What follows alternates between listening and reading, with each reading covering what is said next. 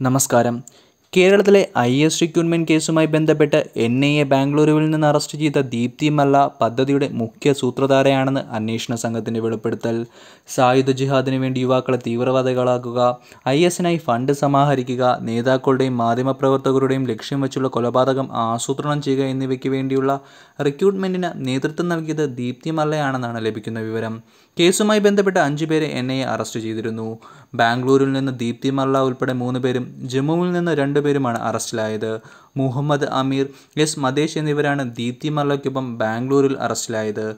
ഹമീദ് ഹസൻ എന്നിവരെ ജമ്മുവിൽ നിന്നും അറസ്റ്റ് ചെയ്തു. കർണാടക മുൻ എം എൽ എ ഇദീനബയുടെ വസതിയിലും മംഗളൂരു അടക്കം രാജ്യത്തെ വിവിധയിടങ്ങളിലും എൻ ഐ എ ഒരേ സമയം നടത്തിയ പരിശോധനയിലാണ് ഇവരെ കസ്റ്റഡിയിലെടുത്തത്. അറസ്റ്റിലായവർ ഐ എസ് ആശയങ്ങൾ പ്രചരിപ്പിച്ചതായും തീവ്രവാദ സംഘടനകൾക്കായി പണം സ്വരൂപിച്ചതായും അന്വേഷണ സംഘം അന്വേഷണത്തിൽ കണ്ടെത്തി.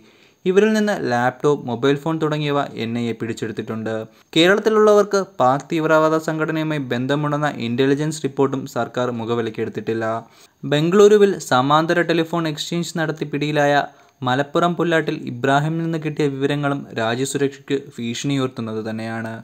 ഭീകര സംഘടനകളുടെ സ്ലീപ്പർ സെല്ലുകൾ കേരളത്തിൽ സജീവമാണെന്നാണ് കേന്ദ്രത്തിന്റെ മുന്നറിയിപ്പ്. സമാന്തര ടെലിഫോൺ എക്സ്ചേഞ്ച് കണ്ടെത്തലുകൾക്ക് പിന്നാലെയാണ് ഈ ജാഗ്രതാ നിർദ്ദേശം. സമാന്തര എക്സ്ചേഞ്ചിന് പിന്നിൽ പാക് ചാര സംഘടനയാണെന്ന് കണ്ടെത്തിയിരുന്നു. കേരളത്തിലേക്ക് ആയുധങ്ങൾ ഒഴുകുന്നുവെന്നാണ് കേന്ദ്ര രഹസ്യാന്വേഷണ വിഭാഗത്തിന്റെ കണ്ടെത്തൽ. കേരളത്തിലേക്ക് ആയുധങ്ങൾ എത്തിക്കുന്ന സംഘങ്ങളെല്ലാം ഭീകര സംഘടനകളുടെ ഭാഗമായിട്ടുള്ളവരാണ്. മത്സ്യവുമായി എത്തുന്ന വാഹനങ്ങളിൽ പോലും ആയുധങ്ങൾ കേരളത്തിലേക്ക് എത്തിയിട്ടുണ്ടെന്നാണ് വിലയിരുത്തൽ. എല്ലാ ആധുനിക ആയുധങ്ങളും കേരളത്തിലേക്ക് എത്തുന്നുണ്ടെന്നാണ് കണ്ടെത്തൽ. കേരളം ഭീകരരുടെ കേന്ദ്രമായി മാറുന്നുവെന്ന ആശങ്കാകരമായ റിപ്പോർട്ടുകളിൽ അടിയന്തര നടപടി ഉണ്ടാകണമെന്ന ആവശ്യം ഇപ്പോൾ ശക്തമായി ഉയരുകയാണ്. സർക്കാർ ഇനിയും നിസ്സംഗത തുടർന്നാൽ നമ്മുടെ സംസ്ഥാനം തീവ്രവാദത്തിന്റെ ഹബ്ബായി മാറും എന്ന് നമുക്ക് നിസ്സംശയം പറയാം. Web desk Tatwamayi news.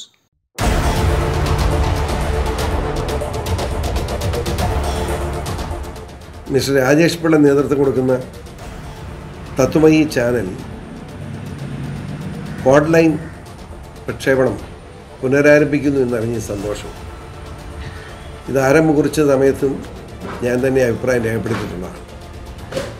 ഏതായാലും പുനരാരംഭിക്കുന്ന ഓൺലൈൻ സംവിധാനത്തിന് എല്ലാവിധ ആശംസകൾ അർപ്പിക്കുകയാണ്. രാജേഷ് പിള്ളയ്ക്കും അദ്ദേഹത്തോടൊപ്പമുള്ള അദ്ദേഹത്തിന്റെ സഹപ്രവർത്തകർക്കും എല്ലാവിധ നന്മകളും നേരുന്നു. വലിയ വിജയമായി തീരട്ടെ ഈ ഓൺലൈൻ എന്ന് ആശംസിക്കുന്നു.